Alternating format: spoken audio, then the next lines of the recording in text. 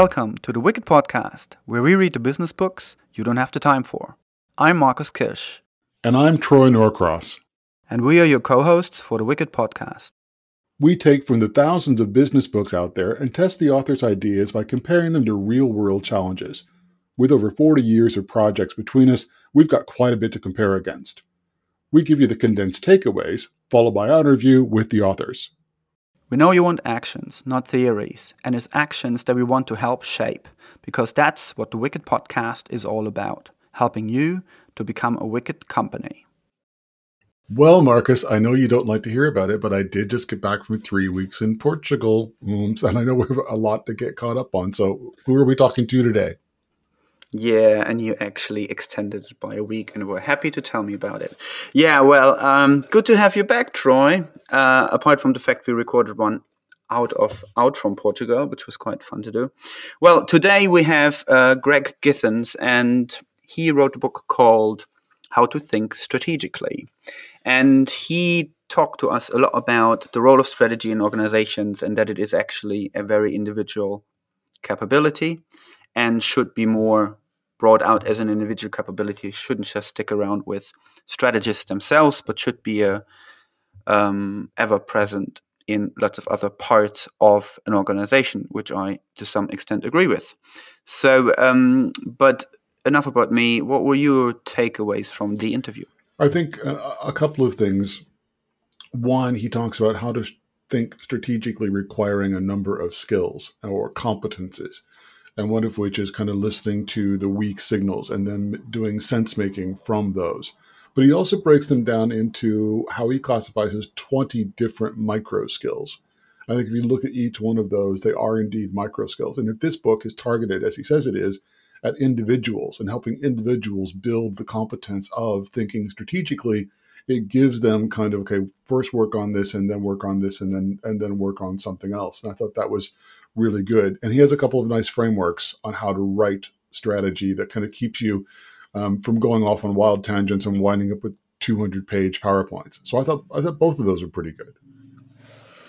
Yeah, I think um, that works for works for me as well because I think one of my big takeaways is the fact that um, strategy is not the only competency that you have to atomize and apply to. If you want to build let's call them wicked teams or future teams that are nimble, resilient enough to create their own insights, make their own decisions, to move forward quickly and experiment, then you need a bunch of new skills.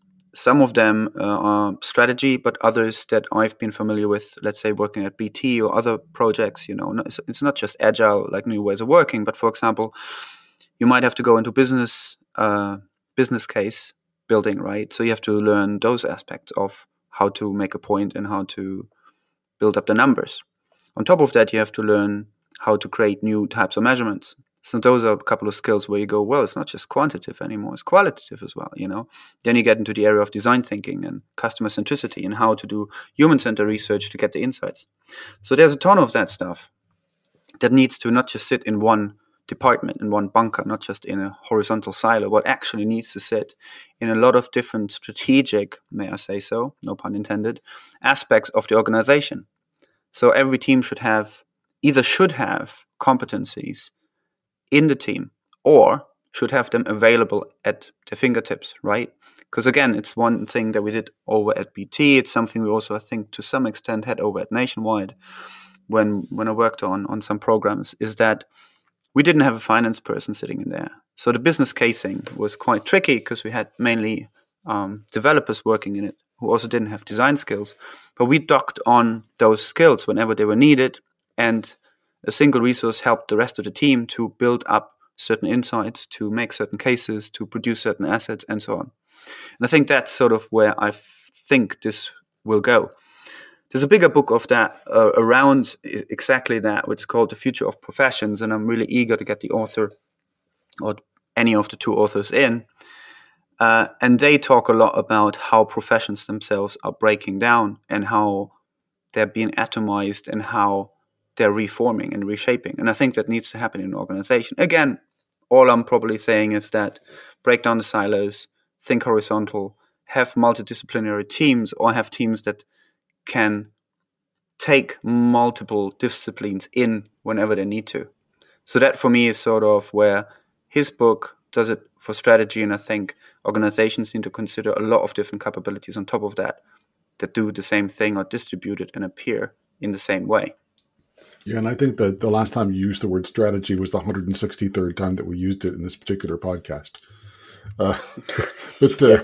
just to tie tie things together across what you were just saying there, I mean, we've had the the privilege of doing 10 recordings, 11 recordings so far, and there yeah, are well, these, yeah. there are common themes. I mean, the the idea of the rational individual as from a decision making perspective, whether it's a strategist inside a company or whether it's a consumer, doesn't really exist anymore. Uh, his point exactly. was that people are making decisions that are not necessarily in their best interest, uh, either because of bias or because of short term thinking or, or a variety of other kind of deeply understood psychological kind of issues. Um, and the other one is the the small bets thing. I mean, we deal with digital transformation, we deal with innovation, which is all about small bets. So whether it's strategy small bets or strategic innovative small bets, the idea is companies will indeed benefit from making many, many, many small bets and being prepared to walk away from the ones that don't work and learn from them, and then hoping that over time, on the aggregate, they find the few that do.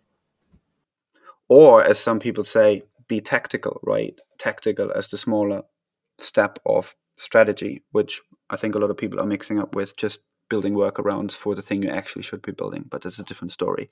The other thing, like going back to your first point, definitely, you know, we had Richard Chataway here who talked about behavioral science, and he went through all sorts of biases that they look at. And the really interesting part, for example, was that he said leadership should communicate that they have biases, that they, whatever they say, is under a particular viewpoint and it doesn't represent the full breadth of reality, right? So the other thing is uh, uh, when I think of Richard Chataway's episode, who does behavioral science, and he talked about a whole range of biases that people have. And one one point he made was that maybe it's time that leadership stops making decisions and just clearly communicates that they are having biases themselves, often heavy leaning towards business instead of customer capabilities, right? So that is a thing that needs to be recognized, I think, and you know, and that also goes to the the the the, the old sentence that I, for some reason, try to remember as as as um, reality eats strategy for breakfast, but I think I remember it's actually culture eats strategy for breakfast. Um, I think. I don't. I think you're right. I think I'm right. Am I? Yeah. See, I'm. Um, but before we babble on longer, shall we go to the interview? Yeah, let's go to the interview. Okay. Hello, everyone. So today we have Greg Githens. Sorry, am I pronouncing your right your name right? Actually. Yes, you um, are Githens. Okay, let's start again. Hello, everyone. Today we have Greg Githens, the author of the book how to how to think strategically in here. Um, welcome, Greg, and thank you for making time. Oh well, thank you, Marcus. It's my pleasure to be here. So um, you wrote a really interesting book about strategy in particular, and let's start by um, why don't you um, tell us a little bit about maybe in three sentences or more what made you write the book and what it is in general about, please. Okay, certainly. Well, um, I wrote the book with a big idea, and I think every book needs to have a big idea. And, and the big idea is that uh, strategic thinking is an individual comp- competence. It's not a, another name for a process of strategic planning or, or something like that. And the idea came to me because I teach a seminar called How to Think Strategically. And certainly I've just been getting a lot of really good feedback from the audience uh, that says there's a need for that you know, in a kind of a uniquely American view of things, is sort of individualistic. And when I could say to an audience, I'm here to help you get promoted, uh, they found that to be something that just really, really resonated with them. So, uh, as I researched, there's no other book out there like that with this idea. You will have other books that talk about strategic thinking, but mine's unique in that the idea that strategic thinking is an individual competence that can be developed uh, is unique. Wow, sounds really interesting. Um, so, in, in in this sense, there is obviously sort of a bigger debate going on here and there in organizations about um, you know what to do around strategy and how to do the strategy and the old adage of reality eats strategy for breakfast. Mm-hmm. But um, I'd like to to get your um, opinion on uh, when you say in your book that a successful strategy is is placing smart bets. So how can organizations get better at accept, accepting that not all bets pay off? So it's about fear of failure essentially. What's what's your what's your thought on on that? Yeah, uh, and that's cert- certainly an important question to be asking. I think part of the short answer is to educate ourselves on more contemporary views of strategy that says strategy and goal setting are often confused and that most managers come into organizations thinking about the goals they're trying to achieve, their aspirations and the goals, and they're determined to achieve those goals. And if for some reason they don't achieve the goal, it's somehow a personal failing on their part. Well, the more modern ideas of strategy really goes back even in 1952. The Nobel Prize in Economics was uh, awarded for something called modern portfolio management that says that there's a number of moving pieces in our investment portfolios, and we can't expect all of those investments to pay off. Some will pay, you know, will not do well, and some will do very well.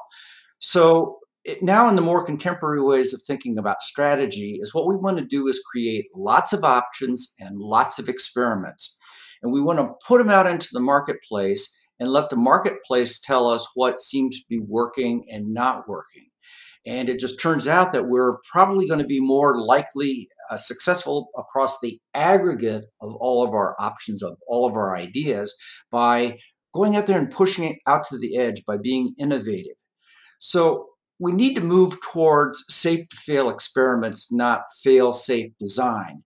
And I think at the heart of that is that we have people carrying around some ideas that are rather, rather antiquated that, that strategy is something about having a big idea and a mission and a vision and then going out and achieving it through positive thinking.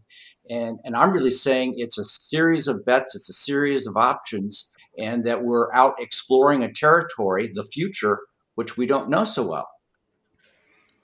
And that, that well, lines up a lot sorry, of what we're that lines up with a lot of what we're kind of talking to a number of people about because whether it's design thinking or whether it's innovation thinking, it, it aligns up very much with that.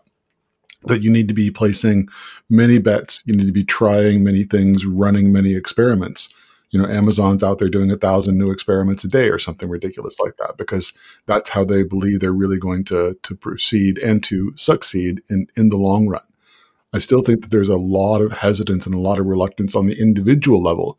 And you made the point that really your book is about strategy and strategic thinking at the individual competence level or as an individual skill and having the, the correct mental environment and the correct corporate environment to allow for those multiple experiments, I think is really important.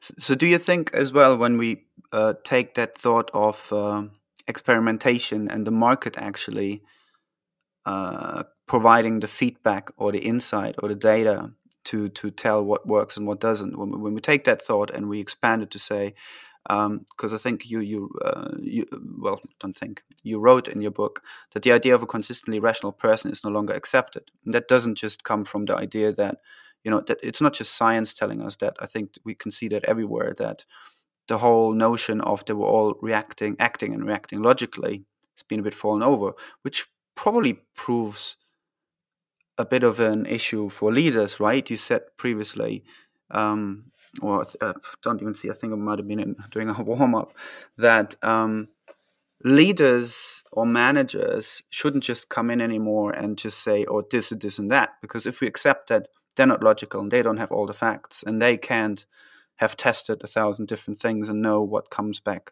positively, then that that that concept is is is not valid anymore, right?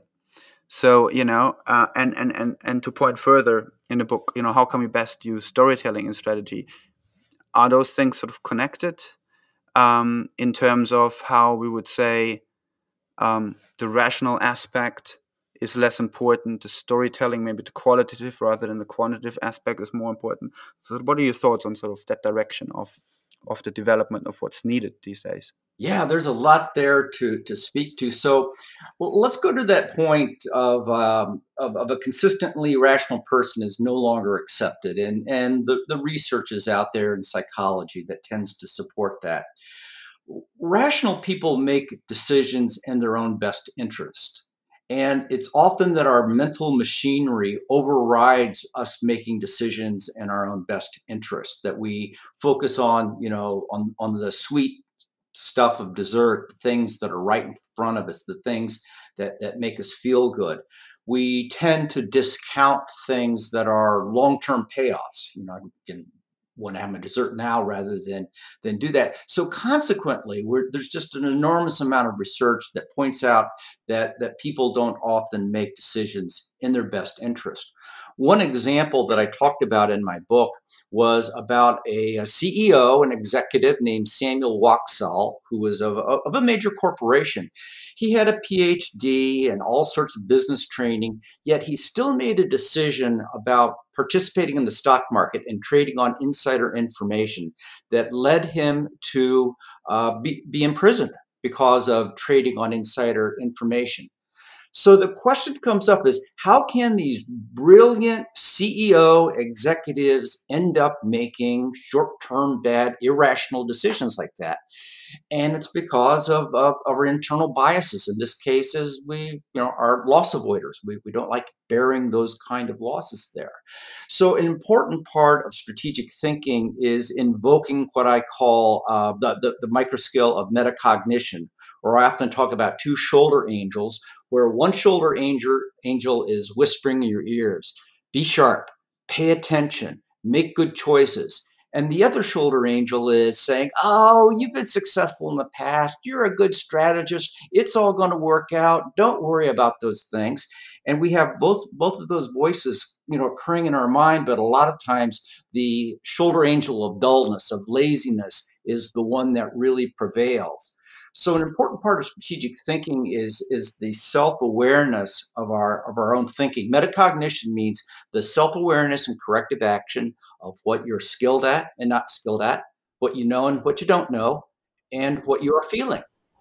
And that's an area where it's one of the I think the real master skills that really uh, really need to be in place. And it's one of the reasons that we need to have thinking partners too. We just can't always trust ourselves. Yeah, and a, a, real challenge with a lot of entrepreneurs is they're working by themselves. You know, they're they're working in a very isolated environment, and they don't have people to bounce those ideas off of and to check for their biases, and that that can be a real challenge. So, a lot of the really small businesses are lucky enough to have mentors, or at least sometimes even a, a friendly customer to be able to discuss things with. Yeah, we're we're all just wired to really focus on what comes to our mind immediately and we're wired to focus on our own personal aspirations and what we think is important. And consequently, we are we tend to neglect ambiguity and neglect uncertainty and neglect a lot of things out there in the external market and just focus on our own aspirations. So that's something that I think is really, really important for individuals to to work at. You, you, you make a point about ambiguity in the book a few times, and it, it literally makes me flinch every time I see the word because back in 2000, I was working for a company called Openwave Systems, and I was a global solutions architect, which is a, a weighty title, but it really didn't mean that much. But my boss at one point in time, we were filling out a huge RFP for Vodafone. And we had a product, and RFP came out from Vodafone, and I was going through the Excel sheet, and you had to either mark compliant or non-compliant. And that's that's the only two choices you had. You couldn't do anything kind of in the middle. And I marked non-compliant for about a hundred different things. And my boss was like, Troy, you need to be more comfortable with ambiguity. You're just not very comfortable with it. You need to mark all of those as compliant and realize how you're going to justify it down the line. And I was like, oh, that makes me uncomfortable. Mm-hmm. Yeah, uh, I, I, start off the book by saying, what is one factor that is essential in the understanding of strategy, yet is o- overlooked by most people? And the answer is ambiguity. So ambiguity is about the multiple meanings. And it's and this is a key point now I'm getting to on strategy. Strategy is about sensing and sense making.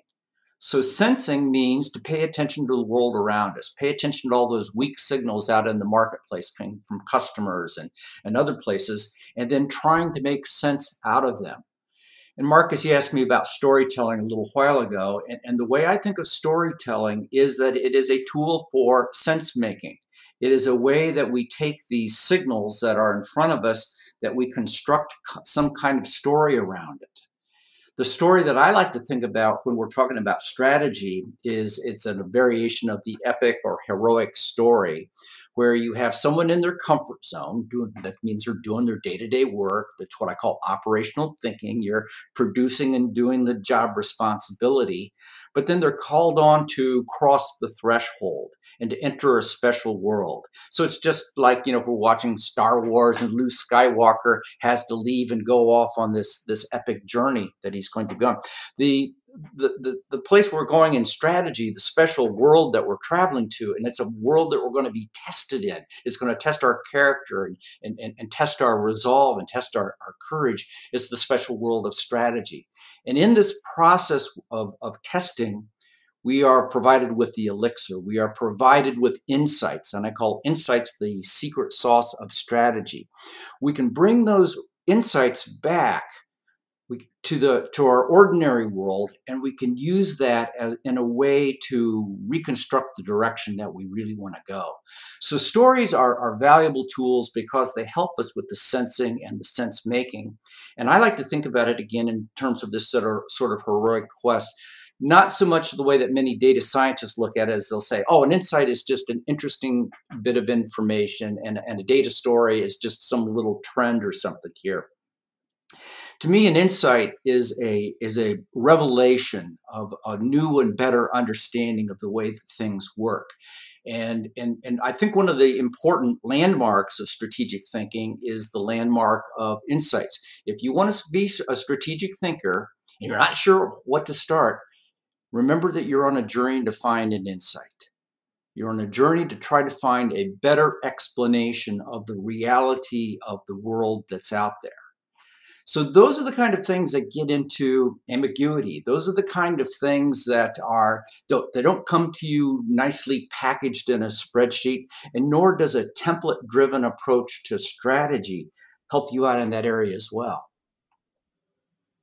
Yeah, it's it's interesting to see how there's quite some relations between um when you just said that so that, that brings me back like 20 years ago into my MA. So that I did over at Royal College in something called computer related design and later called design interactions. But the, the essence of the course essentially was to bring sort of art, design, and technology together and look at uh, human centered research. And a lot of artifacts or tools we were using was storytelling. So we did little video examples or something based on some of the designs and idea ideas um, we had. And the whole point was not just to design the thing that we thought is the solution, but actually the context and explain how it is to look, sit, and function in reality. So often we had, you know, we used each other, me and my colleagues used each other as actors to film each other using a mock up piece of cardboard and seeing how this actually works. And it was all based on real existing behaviors. And then just playing it through. And just by playing it through, you get a good idea does it work? Is anyone actually would anyone anyone actually do that? Would that actually be happening like that? And you get a really good feel for it because you're all human beings. And the second you're outside of an office or a creative glass box, you're quickly realizing that yeah, that's probably not going to catch on, right?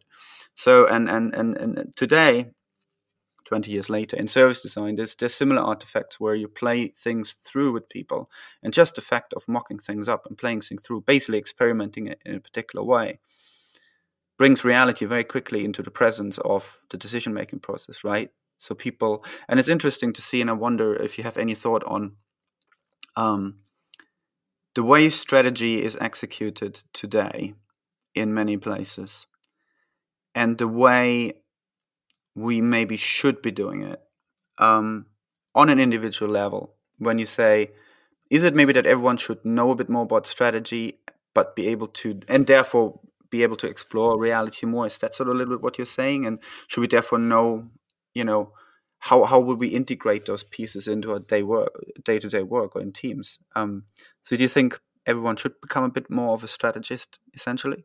Yeah, I'll, I'll, answer that last part. You touched on a lot of really important points there, but but yeah, my idea doing that, that, that that every individual, every person can and should be thinking strategically if it's not on behalf of their employer and their organization, your career certainly is something that benefits from strategic thinking. The decisions that you make about your personal investments and, and so forth uh, are, are certainly there. So I argue for a very broad, democratic, everybody should have the ability to think strategically. Uh, but it's not to say that everybody should have a voice in the organizational strategy setting process but somehow we need to have a way for uh, helping those people to uh, to let their voices be heard and to participate in the sensing and sense making that I, I talked about uh, a little bit earlier you know, you mentioned in your question a little bit about context, which I think is incredibly important for strategy. That as, as strategists, what we want to do is increase the amount of time that we're spending looking outside the walls of our organizations and the things that we're familiar and more into areas of of uncertainty and ambiguity and so forth, and paying attention to the weak signals that we have so that we can respond to the changing context that we're in. You talked a little bit uh, about designing tools, and, and here's how I define strategy. I, I think strategy is a specialized tool. And, and that would imply then that we use it in some situations, in other situations we don't use it. Strategy is a specialized tool. It's used to advance the interest of the organization. And it's done by managing issues that have broad long term impact. So you look around and say, what are all these things happening out here in the external world that could affect me or us uh, when I look broadly and when I start to think a little bit more long term? And that's what I think strategy is. It's essentially a form of problem solving that says, I've got to look outside and I've got to be aware of everything that's happening in the environment around me. And through that, it leads me to ask just a real simple question What's the biggest challenge that our organization faces that we can do something about? And getting the collective of the organization to talk about what are the biggest challenges that we can face that we can do something about, I think is one of the most important questions that can be asked inside the organization. And I'll contrast that with what more commonly happens is, which is what are our goals? What do we aspire to? What problems do we want to fix? Let's get to it. And that leads then to, to, to, the last part of your question about strategy execution. I don't think that strategy can be thought of as simply an idea or a goal. But again, that's an area that's frequently confused along the way. And so what we have is people blaming strategy execution when the real problem is in the design of the strategy. So, what I say to people is number one, Give me good strategy and not bad strategy. Number two, give me adequate resources. You know, perhaps you've heard the saying that a, a vision without resources is a hallucination. And resources are scarce in organizations, so it takes difficult decisions about where are we going to invest and disinvest. The third one is I need some good leadership. I meaning I need individuals who can pull people along on the journey, help them to deal with that ambiguity, help them to place intelligent bets, help them to have the courage to step out of their comfort zone and to go off on this journey into the future and the last thing I need is a little bit of luck. So I, I think, given that, strategy execution is not hard if I have good and not bad strategy, adequate resources, uh, sufficiently good leadership, and a little bit of luck. I think it's really nicely packaged the way you've done that. I think the other thing that um, I really kind of caught on was the second half of the phrase, What is the biggest challenge to our organization that we can do something about? And it's that assessing can we actually affect change? Can we actually do something about this so we don't wind up kind of you know howling against the wind as it were? Yeah so, so true. I, and another micro skill of strategic thinking is pragmatism and, and that's the understanding of how the world really works. Uh, understanding what is feasible and, and, certainly we know we can push the edges and we can push the boundaries and, and people are generally more capable of accomplishing things than they're willing to give themselves credit to. But I think one of the big challenges then in strategy is for for managers, for executives to make the decision. This is what we believe this major challenge is. And then they start to make some strategic decisions that say, we're going to focus here and we're not going to focus over here. Uh, good strategy is really dependent upon focus to, to give us the leverage to, to pivot into areas that we need to do. But especially for larger and more established organizations, it's really tough to say no to things that are already underway. Uh, I, I often talk to people who are managing projects and I'll ask them, how many of you work in organizations that have too many projects for your resource base? And inevitably, every hand goes up. Every hand goes up, which tells me that if there are too many projects, they're not doing a good job of focus and priorities. And and I'll, here's my final point. Then is a good strategy may hurt someone's feelings. If every project is important to someone someplace in the organization, unfortunately, we're going to have to go forward and say, can't do that project anymore, can't do that project anymore, and can't do that project anymore because we need those resources to be put over here where we can get more leverage. Yeah, I wrote a, a blog post that was talking about the fact that before a project starts, no one can say yes. And once a project starts, no one can say stop. You know, it's it's really really difficult because once you've committed resource to it and the organization has gotten the kind of momentum running behind them, nobody wants to pull the brakes and say, okay, we're going to stop doing this project because that would imply failure. And before but that, nobody wants to take the risk. Yeah, and, and, and, uh, we love talking about failure, don't we? In the context of pot- potential failure, and it's one of those things that you know gets gets me to a question as well that I will have in a second. But just a little anecdote there, uh, there, there, then and there again. I mean, obviously, uh, Troy and me, we work on fairly large projects that, you know, like programs rather, you know, which include multiple projects really, where the size of the investment and the effort and the commitment of the company that's finally put into black ink is hard to pull back. And I think often those big programs are they're kind of right actually you know? They do them for the right reasons. They might not do them in a good way but they do them for the right reasons right? And then the problem is that you have often what i call hygiene factors. You often have a big program set up and the major hygiene factors are just not there you know so there's gaps already and in theory that would be um, a, a reason to pull back a big program but that rarely gets taken taken care of and it's hard to measure and it's hard to, to know when measurements come back.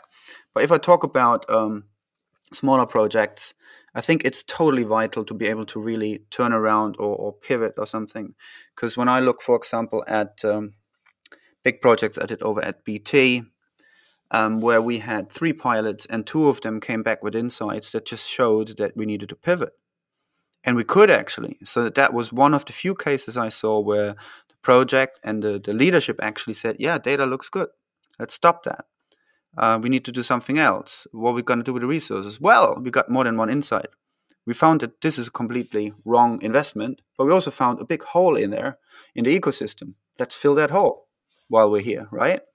So that was brilliant. That was just where you, where you and it's really rare to see that the measurements are right there, the insights that are coming back are getting recognized, and there are enough, and a process potentially is in place to say, well, strategically, we still have the money, we still want to do that and improve, and it still sits in the same area. It's, it's supported by the same strategic pillars, which then potentially goes into the conversation of teams knowing about the strategic pillars, which I think there's a McKinsey study saying that most most employees don't even know what the strategic pillars of the companies are.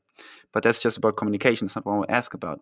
The main question for me is this: If we are starting to have better or more teams being able to gather insights because there's more strategic thinking present in individuals in the teams and insights come back how do we close the gap between the teams on the ground close to the customer and the senior leadership um, and the information that should flow back so that we can justify or that we can more put into place the agility for pivots and those kind of things to happen or, or just that the information feeds back up to the leadership and the leadership can adjust the overall strategy and eventually maybe say you know what the program needs to change needs to pick a different direction or something like that. Do you have any thoughts on how to close that gap between maybe the top line leadership strategy and then the on the ground team insights that are coming back?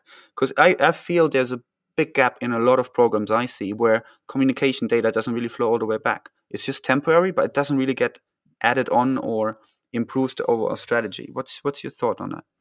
Yeah, uh, that's something that I think I did a nice job in my book of trying to provide. Uh, I hate to use the word roadmap, but sort of a framework for thinking about these things. So, um, first off, you know, in large organizations, there's a lot of voices you know, and a lot of ideas and a lot of data floating around. And, and I am optimistic that technology can provide some answers there. If we're saying the problem we're trying to solve is how do we take all of this data about the external world and insights and these kind of things and bring them together into some sort of packageable, manageable kind of story, I think there's technology out there that can help us do that. Um, so, so the general approach that I I have, and, and, first off, let's go to writing. I, I, provide what I think is a really nifty little approach for writing strategy and getting it down to a couple of pages long. And it, it, involves five elements. The first element is simply stating what your interests are as an organization. It might be to enrich your shareholders. It might be to advance uh, environmental protection. It might be uh, justice. It could be any of those kind of things. And we see that those kind of interests are changing in contemporary society. So sometimes those can be an impetus to strategy. Okay, the next part, and this is the, a really important part, is to say what are your beliefs about the external world? Do you believe that the future is going to be one of more pandemics and more ramifications of the current pandemic that we're in? What do you see as changes in, in various technologies? Uh, transportation, food technology. That list can go on and on and on. Well, there's a lot of beliefs out there. So the challenge within the organization is to get these individual beliefs moved into some sort of collective belief. And we want to make sure that we're leaving some room for the people that are unorthodox, that maybe can more keenly perceive small, weak signals and pockets of the future better than anyone else. So this is a place for dialogue and deliberation is what I call it. It's a place for, for skillful conversation about what do we believe to be true about the external world, both present and projecting into the future, and how are we going to react to that? And then that brings us to the third part, and I mentioned this earlier, the core challenge. The question is, what's the biggest challenge that our organization faces that we can do something about? And again, that's sort of a belief that we have about what we're going to focus our organization's energies upon.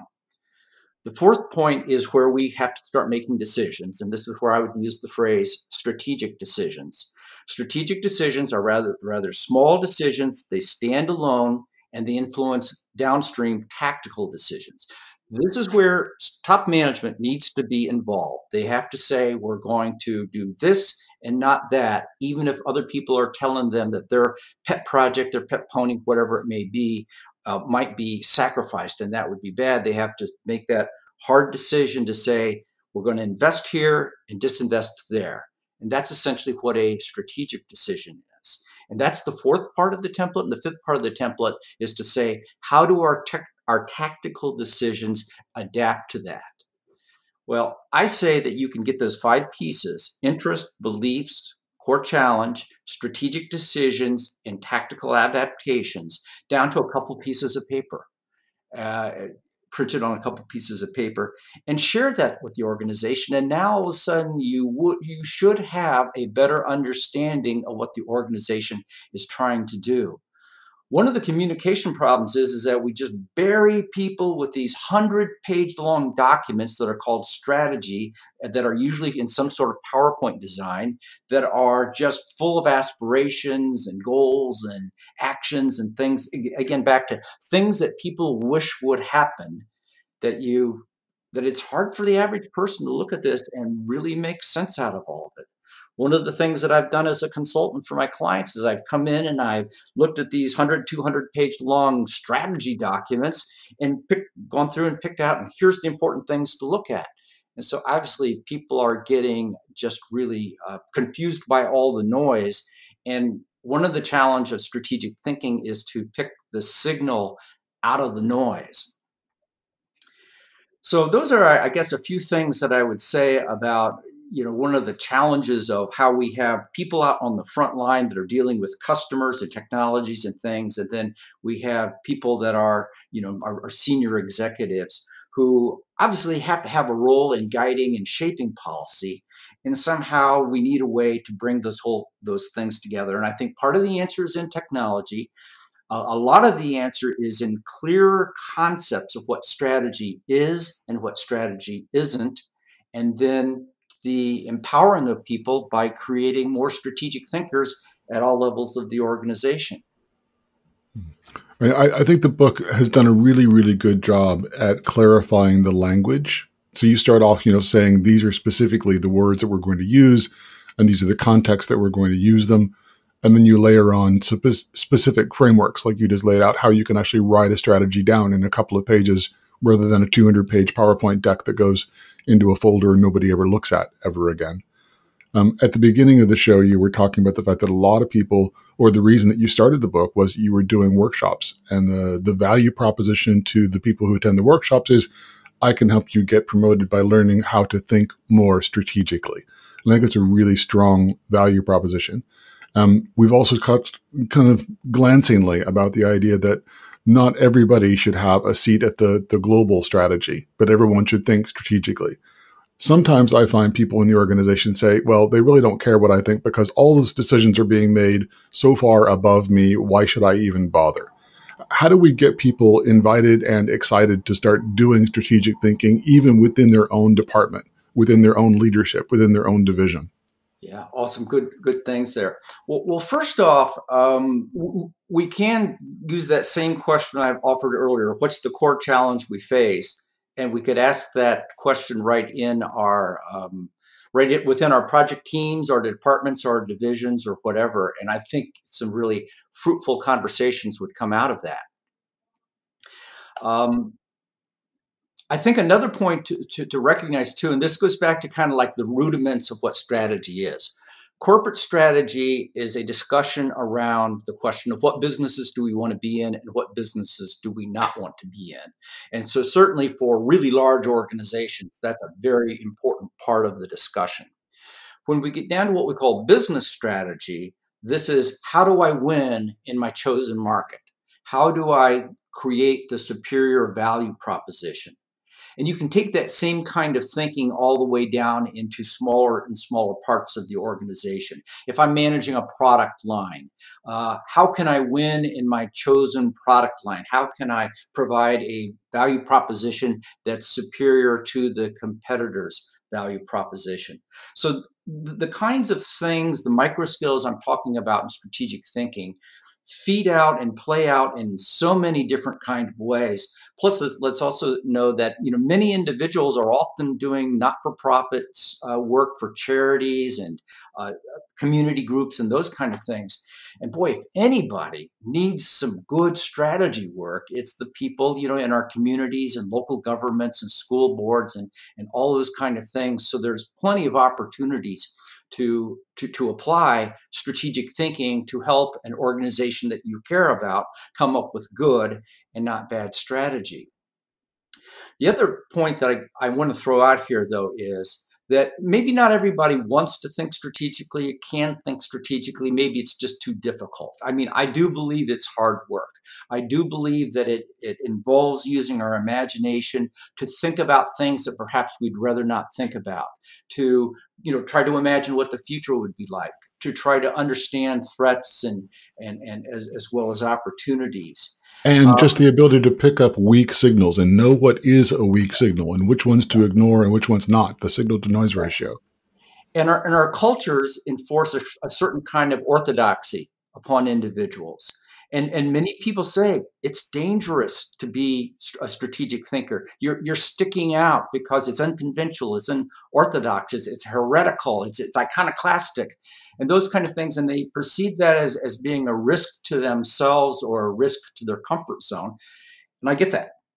And, and so one of the choices that people have to make along the way is that it requires a certain amount of courage to be unconventional, to try to look at things in a different kind of way, and that you're going to have people teasing you or being sarcastic, like, what do you want to do it that way for? And to have enough self-assurance in your in, in your own ideas to say, I see something differently here, and this different thing I see might be important to all of us. Marcus? Well, Marcus was going to ask the last question. I don't know what's happened to Marcus. Marcus muted himself. Ah. um, sorry. Uh, I was literally just going on for about half a minute here. Sorry. Um, so um, I want to pick up on something you said, and I think it's quite quite um, topical for sure. You know, um, we all probably been in lots of projects where people weren't brave enough, or you know, went went didn't think they could stick out and say, "Hey, let's do something else. Let's do it differently. Let's maybe do something that's non-intuitive but might be right." We're now living in a COVID world. You know, the map has just been thrown out of the window. Um, there's a brand new context for most things now. Um, we don't have a choice anymore to not do something new or different. We're often forced to do something different because the thing that was there yesterday is just literally gone. So, in that sense, um, I'd like to have your thoughts on when we compare efficiency and effectiveness as two different approaches of what you can do. And I would describe efficiency as you stick to what you've done before, you just make it better, right? Or effectiveness, where you go, no, I'm going to consider anything in order to get to a better place. I might throw some of the old stuff out of the window. I might keep some of it. I don't know, but at least I consider it. So I'll try something else. Where do you see us in this new world to stick with? Is it generally a better idea, therefore, where you would say, let's just fully focus on effectiveness or stick with efficiency? Is, is, is efficiency becoming really an outdated focal area? What, what's your thought on yeah, that? not at all. I remember well being taught this rule by uh, Brad Goldstein, who's one of the big thinkers in, in new product development. And, and his rule is this measure effectiveness first and efficiency second. And it's always been kind of a guiding idea for me. So, so effectiveness is more about having impact rather than how well you do that. And I think that's where strategy comes in.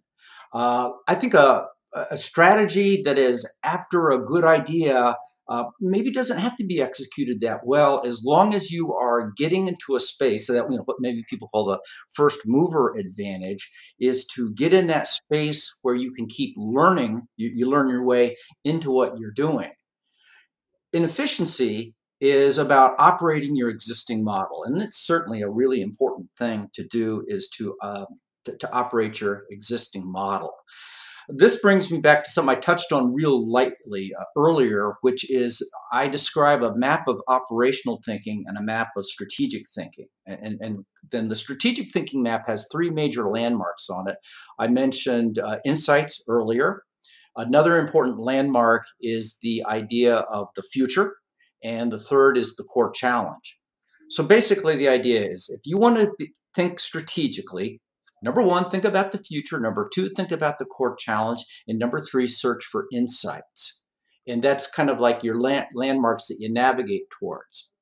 Now, the operational thinking map, here, here's what I call the five P's of operational thinking.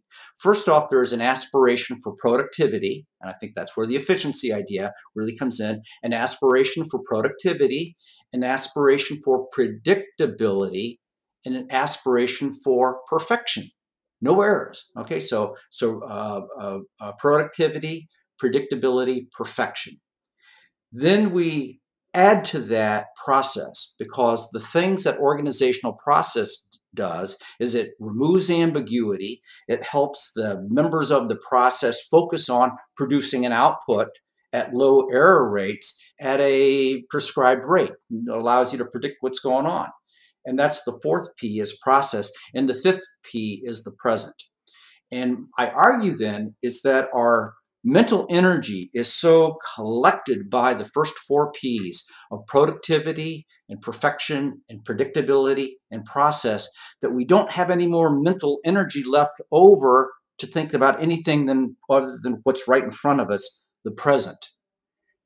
And so an important thing that we have to do within the as individuals is that we have to say, it's good to be efficient. It's good to have a good, well running business model and good operations. But maybe I need to step back and allocate some time to strategic thinking. Maybe I need to, to put some effort into saying, what's the core challenge? What's going to be different in the future? Um, where, where are the insights that I might be able to follow? And I think that kind of gets into the uh, one of the crux problems that we have in existing organizations is that people are just so busy, but they're so busy being operational. I'm hoping I'm giving people a tool to recognize within themselves that they, they have to make that choice to spend some t- attention to think strategically and not just let it be part of an annual planning cadence that happens within the organization. That sounds great. I think it's a really good. I'm looking a bit at the time. I think those are great words to wrap up to, actually. There's so much in this book. It's really lovely. And I think there's a there's a there's quite a relevance in general, maybe not for just for strategy, but definitely for strategy, to bring the thinking of why are we doing things and how are we doing things and how how that kind of thinking can contribute for to companies doing a better job into every position essentially. I think there's a couple of thoughts and trends generally around new capabilities across organizations in order to tackle the future better. And it sounds like strategy is surely one of them that should be considered. Having said that, thank you so much, Greg, for your time. This was very enlightening, very lovely, and uh, yeah, thank you, thank you for your wise words. Well, well, thank you, Marcus and, and Troy as well. Uh, you're very welcome. I enjoyed this conversation, and those were some really thought-provoking questions that you uh, asked me. So it's my pleasure to be here. Have a thank good you. rest of your day, and thanks again. Okay. Cheers. You've been listening to the Wicked Podcast with co-host Marcus Kirsch and me, Troy Norcross. Please subscribe on Podomatic, iTunes, or Spotify. You can find all relevant links in the show notes Please tell us your thoughts in the comment section and let us know about any books for future episodes. You can also get in touch with us directly on Twitter on at Wicked and Beyond or at Troy underscore Norcross. Also, learn more about the Wicked Company book and the Wicked Company project at wickedcompany.com.